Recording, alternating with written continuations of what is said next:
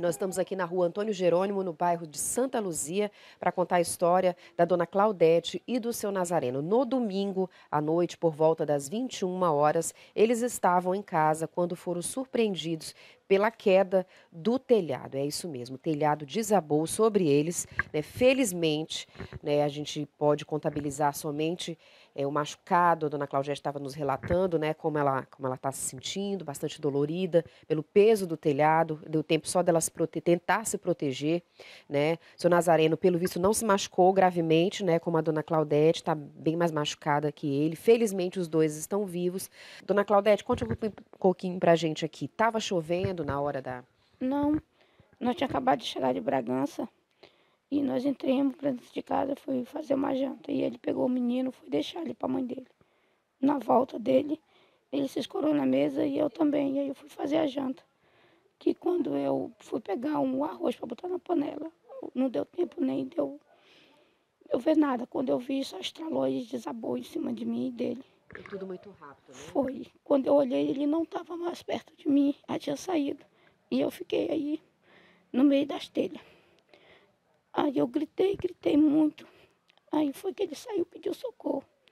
Aí foi que chegou, deu muita gente, muita gente mesmo aqui em casa. Pra tentar ajudar? Né? Foi. Aí veio o corpo de bombeiro, veio o SAMU, vieram, me levaram para o regional. Lá eu fiz todo o procedimento, mas graças a Deus foi só um corte profundo que tive na perna. E fiquei com problema na minha garganta, acho devido peso na minha, na minha cabeça.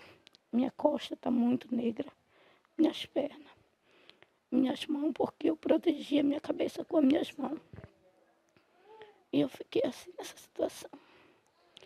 Eu tive mais um livramento que, que aconteceu que eu tô com. Fez um, é, no dia do acidente, estava com três meses, que eu perdi meu filho que foi enterrado. E agora, mais isso. Mais esse, essa, essa dificuldade, né? Situação. É difícil. Difícil. Difícil porque é o espaço onde é, eles dois moravam, né? E felizmente a dona Claudete está viva, né? Não sofreu nenhuma fratura, mas está bastante machucada, né? E sem contar o abalo psicológico, porque de fato a pessoa fica emocionalmente muito sensível, né? Né, enfim, foi prestes a, a, sofrer algo mais grave.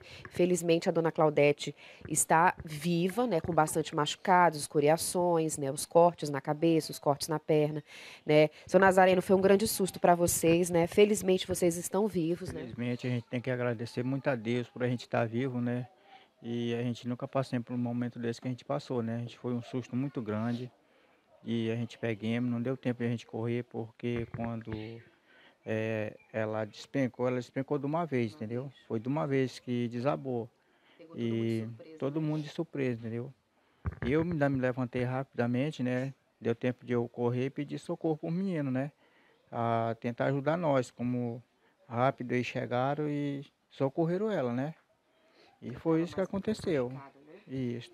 Felizmente o SAMU veio a tempo, né? Veio e socorreu é, eles dois e levou de, de imediato para o hospital. Felizmente, a dona Claudete não sofreu nenhuma fratura, nada mais grave, fez todos os procedimentos e exames necessários e está se recuperando. Mas agora fica o prejuízo né, do telhado ter desabado, do espaço. Vocês estão precisando de ajuda para reconstruir esse telhado, né? Com certeza, né? A gente está precisando de uma ajuda para reconstruir o telhado, que no momento a gente não está com condição né, de, de ajeitar, né? A gente pudesse, quem puder dar uma ajuda para ajeitar o nosso telhado, a gente agradece muito, entendeu? Então fica aqui o nosso pedido também do seu Nazareno, dona Claudete, né, por essa ajuda. Eles moram aqui na rua Antônio Jerônimo, no bairro é, Santa Luzia. Então, se você não quiser trazer a doação até aqui, pode nos procurar ali na Record. A gente te acompanha, a gente traz vocês aqui, né? Mas vamos ajudar essa família que passou por esse grande susto e agora está precisando reconstruir o telhado da casa e voltar né, a residir na, na casa onde moravam antes do acidente. Então, Qualquer ajuda é muito bem-vinda, né? Material de construção, madeira, telhas, para reconstruir né, o telhado da casa e essa família voltar a morar, principalmente em segurança nesse espaço.